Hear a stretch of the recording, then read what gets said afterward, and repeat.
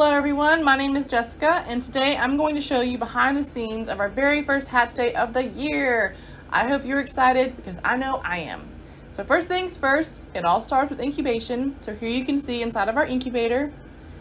Every tray is unloaded from the incubator and taken to a dark room where we will begin a process called candling. Candling is a process where you shine light through the egg to check for viability and development. What we are looking for during candling are clearly defined air cells, where the rest of the egg will be very dark where the developing chick is. Eggs where the light shines completely through the egg are unfertilized. These unfertilized eggs are removed so we ensure we only are setting viable eggs in the hatcher. Checking for viability helps us know what's going on in our breeding pens and also what to expect on the upcoming hatch day. After candling is completed, eggs are sorted into groups with breeds that are easily identified from one another. Then the hatcher is closed and will be opened in just a few days on hatch day. Now fast forward a few days and it's day 21, so you guessed it, it's hatch day. Now we're going to do a process of quality control for every chick that is hatched. Every single tray is sorted through and separated by breed. And we are examining every single chick to make sure that they are healthy. We are also checking to make sure that every chick has four toes, two bright eyes, no scissor beak, and no splayed legs. We're also checking for correct color pattern as well. You'll notice that some eggs here haven't hatched. These eggs just need a little bit more time in the hatcher, but should be ready to go by tomorrow.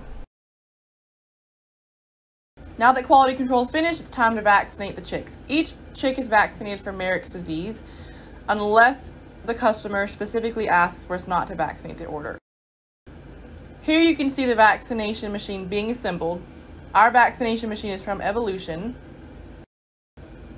This machine allows us to vaccinate a large number of chicks in a very short amount of time.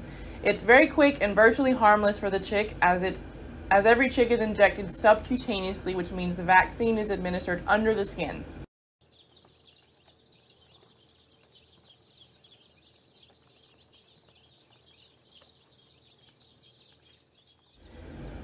After vaccinations are completed, it's time to finally pack orders. Woo!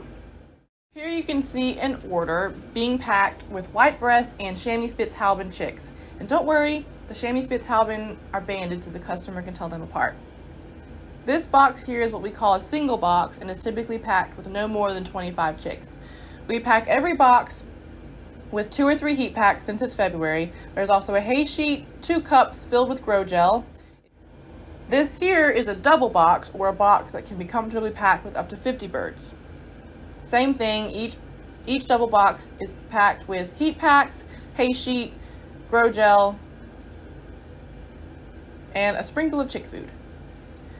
Here you can see this order is being packed with Orloff, Spitzhauben, Silver, and Chamois to be exact, as well as a rare breed assortment. We do try our best to include free extras in every order. However, depending on the hatch, we may not be able to always do that. However, we do try our best to do that with every single order. Once the order is finished being packed, a lid will be placed on it and then it's time to secure the box for shipping. This is how we secure our boxes for shipping. Every corner is zip tied and there's also a layer of tape applied over the lid as well as on each side. Once every order is packed and every box is secured for shipping, they are then loaded into the van, as well as any hatching egg orders or t-shirt orders that we that we also have for the day. Once the van is loaded, it is time to go off to the post office. I just want to say thank you so much for placing orders with us. You help us achieve our goal of preserving rare and endangered chicken breeds, and we could not do it without you. So I just want to say thank you so much for watching, and please make sure to visit our website to view what breeds we have available at our farm. And also, be sure to follow us on Facebook and Instagram so you can stay up to date with what's going on around the farm.